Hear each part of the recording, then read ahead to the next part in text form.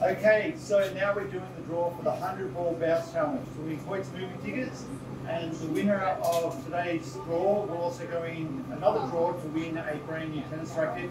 Uh, we do that every six months. So today, give it a spin, Ivan. You've got Isaac doing his 100 ball bounces. And uh, let's see who wins the Hoyts movie tickets. Hoyts movie tickets for December. All right, put one out. Don't look. All right. Uh, Isabella uh, is our winner for today. All right, well done.